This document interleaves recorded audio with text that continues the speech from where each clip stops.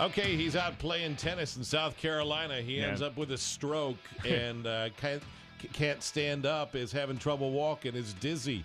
Right. And uh, his name is Mike Hogewood. And I think for a lot of folks, we're astonished to know that you've been dealing with this battle Right. uh, Yeah, over well, months and all the physical therapy. You know, I did a lot of physical therapy, and I got to tell you, the folks at Cone Hospital, those physical therapists are fantastic. Mm-hmm. They know exactly, you know, they know what they're doing. And uh, now I feel really good. I feel like I'm, you know, I'm back almost 100% and um, loving what I'm doing. And, you know, as I said, I've got a second chance to do it. And, you know, I think a lot of us, when we get a second chance, you never really appreciate your health till you lose it. I, you, you know, what we always take it for granted, and you, Sure you do, lose yeah. it, and um, you get a second chance, and you know, say, "Hey, I'm going to make the most of this," and that's what I'm trying to do now. All right, I have a basketball question. go for ahead. ya. Yeah, lay What's on wrong with North Carolina this year for crying well, out loud? Uh, there's no chemistry on the team. They. Uh, um, the talent is not what uh, Roy Williams thought it was going to be. Um, they don't have a lot of confidence in themselves, but uh, Carolina's going to be back. You know, they've got a great recruiting class coming in. and so Roy be back. Williams is a great coach. It just it just is Yeah, not it's just been, it's there. been, Oh, a, it's you been a frustrating. It's been a frustrating I think he's a great- for him. One of the things that I think, Mike, and you know Yeah. better than anybody, when people watch you on TV, everybody thinks, I could do that. I Right. could do that job. There's nothing to it. You just show up and say what you think. Yeah, about let me the tell you something. It looks easy, but uh, not everybody can do it, and that's why All right. you feel good about it. Hey, we got to uh, take a couple of calls if that's all right with Sure, you. no It's, problem, Uh, no Scott, problem. welcome to Rush Radio 94.5. It's Bill and Pam, and you've got Mike Hogewood. Did we lose Scott? All right, we'll, uh, we'll go away with Scott. How about CJ? Good morning, CJ. Good morning. Good morning. Uh, good morning, Mike. Good uh, we're glad to have Good you, have you back. Hey, it's good to be back. Let me tell you. Well, hey, uh, you know, going along with the lines of uh, you know thinking it's easy, um, I got the opportunity to do some announcing for boxing, and uh, it was a lot more work than I ever anticipated. And being in front of a live crowd uh, with two or three thousand people. And trying to get all these guys' names right and go through the preparation process and keep the crowd into it, uh, especially when you have a five or ten minute lull in the action. What a huge job! And Yeah. I mean, unreal. Would you talk about Yeah. that a little bit, Well, Mike, and I- keeping first that of all, concentration? I don't think um, people have any idea that the number of hours you put in to prepare for an event. You know, you the the preparation time is what takes forever, and uh, yeah, you got to have uh, the Bill Flynn gift of gab, I think, to be able to do it a little bit. You know, you you've got to be able to have a lot of talking points and. When you need to fill, like in basketball, a lot of times, let's say there's a clock area error, and the officials have to go over the scores table and figure out what's going on.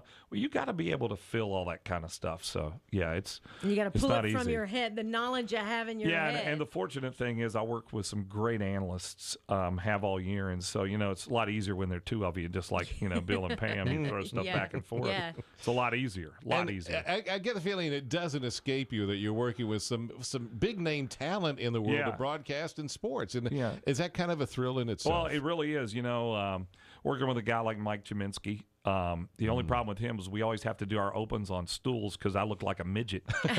He's seven one and I'm five eleven, so you know we stand beside each other. It's Yeah. like you know that doesn't work as well. But um, you know, Dan Bonner, Debbie Antonelli is just wonderful. I did the women's tournament with her, and uh, so it's it's it's been good. It's been real good. And you got the job where, you know, if you have an issue, if you make a misstatement or you Yeah, get a, a jersey number wrong or a name right. mispronunciation, What's the worst Well- worst one you've ever done? Um, I- I really try to avoid that. Okay, in, in our business, there's one rule: you don't talk about religion, you don't talk about politics, you don't talk about any of that kind of stuff.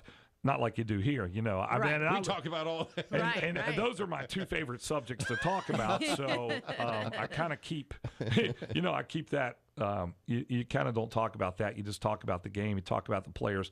It's not about me when I do a game. It's about the men or the women who have worked so hard and are out there working hard. And you try to honor that and you try to celebrate that what they're doing during a game. What's the biggest compliment you can get in the job that you have? Well- what is the one thing that sports broadcasters live for? um, well, we live for great games. That's what we live for, you know. And we have a motto at Fox that we always say: protect the game. The game is the most important thing, not not us and what we say. I just try to compliment what's going on in the game. I try to compliment the the players and the action of what's happening, and also less is more. I don't talk. I try not to talk all that much during a game. I try to just compliment you know what what is happening out on the court and tee up my analysts to make you know good comments and that kind of stuff about it but it I try to make sure for me that that this game is not about me particularly if it's a great game down the stretch you just try to celebrate that and try to keep the energy of what you do in uh, as but what's going on with the crowd and that kind of thing Is there a particular game that comes to mind right now that was probably your favorite game to be a part Yeah, of? um, it's a women's game in the ACC tournament. When Kay Yow was so sick with cancer and was barely able to make it out on the court, they were playing the number one team in the nation, unbeaten Duke, and Kay Yow's team came and pulled away the upset to make it to the finals of the tournament. I have never felt so much emotion hmm. in a game or in a building myself. They had no reason to win that game except they were playing for their coach who was very, very sick with cancer, and um, that that game stands out to me as uh, something that that you know I'll never forget. Yeah. But you know, I've been to Carolina. I've been to you know done men's games everywhere, and you know had some close games, double overtime games, and but that game was filled with emotion, and I'm an emotional person, and I love you know the emotion of sports is something that I, I really really enjoy. Mike, uh, just one last thing here. You, you use the word miracle as you talk about the recovery from yeah, the stroke. yeah, it was a miracle. And there's a real um, there's a real connection between you and a power beyond you. I well, get the right. sense. You so.